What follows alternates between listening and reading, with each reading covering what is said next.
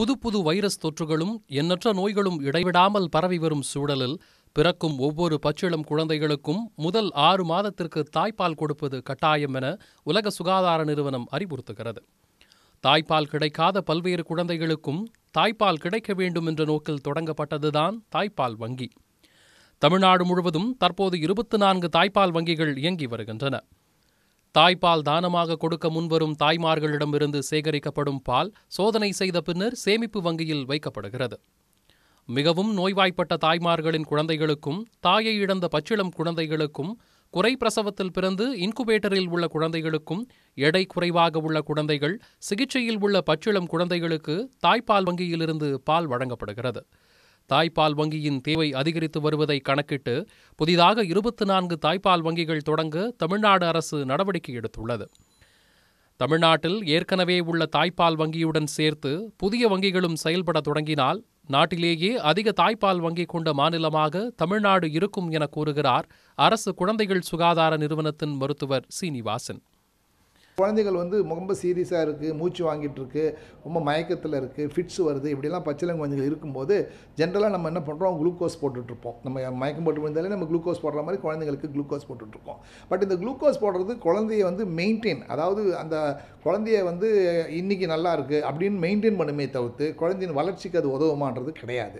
So குழந்தையின் வளர்ச்சிக்கு உதவும்னா அது நம்ம தாய்ப்பால் கொடுக்கறது தான் இப்போ நல்ல ஆரோக்கியமான குழந்தை அம்மா கிட்ட வந்து தாய்ப்பாலை சப்பி குடிச்சிடும் ஆரோக்கியம் இல்லாத குழந்தை மயக்க நிலையில் இருக்க குழந்தைய வந்து த்ரூ என்ஜி டியூபோ மற்ற வழியாக நம்ம இந்த ஹியூமன் மில்க் பேங்க் மூலம் அந்த பாலை கொடுக்குறோம். இதனால் இறப்பு விகிதம் வந்து நமக்கு நல்லா குறைஞ்சிட்டு வருது.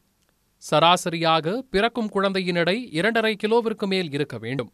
ஆனால் தமிழ்நாட்டில் ஆண்டுக்கு சுமார் நாற்பதாயிரம் குழந்தைகள் குறைவான எடையில் பிறக்கின்றன. இவற்றில் ஐந்து சதவீத குழந்தைகள் ஒரு கிலோவிற்கும் குறைவான எடையில் பிறப்பதாக தரவுகள் தெரிவிக்கின்றன. ஒவ்வொரு வங்கியிலும் நாள்தோறும் இரண்டு லிட்டர் பால் தாய்மார்களிடமிருந்து சேகரிக்கப்படுகிறது.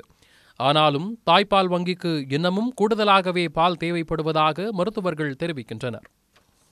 நமக்கு போக மீதி உள்ளதை மற்றவங்களுக்கு கொடுக்கறது தானே உலக நியதி. ஸோ நீங்கள் ஒன்றும் காசுக்காக வாங்கல. உங்களோட தாய்ப்பால் வந்து உங்களுக்கு இயற்கையாக சுரக்குது. உங்கள் குழந்தைக்கு போக மீதி எவ்வளோ எக்ஸ்ட்ரா இருக்கோ அதை கொடுத்தீங்கன்னா அந்த இன்னொரு குழந்தைக்கு நோய் எதிர்ப்பு சக்திக்கு நீங்கள் வந்து உதவுறீங்க. உங்களை அறியாமலே வந்து உங்களுக்கு ஹெல்ப் பண்ணக்கூடிய ஒரு வாய்ப்பு கிடைக்குது. தமிழ்நாட்டில் பச்சிளம் குழந்தை இறப்பு ஐந்து புள்ளி ஒன்பது சதவீதமாக உள்ளது. இந்திய அளவில் மற்ற மாநிலங்களோடு ஒப்பிடும்போது இது மிக குறைவு என்றாலும் இதனை முழுமையாக கட்டுப்படுத்துவதில் தாய்ப்பால் முக்கிய பங்காற்றும் என்று மருத்துவர்கள் தெரிவிக்கின்றனர்.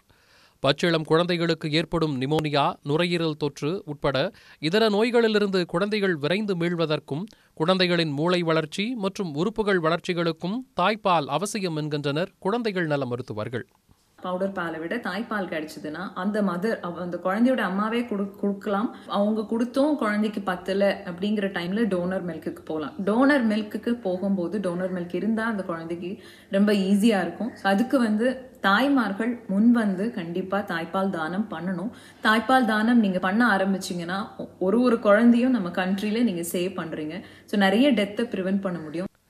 தானமாக கொடுக்கும் சிறு அளவு தாய்ப்பால் கூட முகமறியா ஏதோ ஒரு பச்சிளம் குழந்தையின் உடல் நலனை பேணி பாதுகாக்கும் என்பதை உணர்ந்து தாய்ப்பால் தானம் கொடுக்க அனைத்து தாய்மார்களும் முன்வர வேண்டும் என கூறும் மருத்துவர்கள் தானத்தில் சிறந்தது இரத்த தானம் மட்டுமல்ல தாய்ப்பால் தானமும் தான் என்கின்றனர்.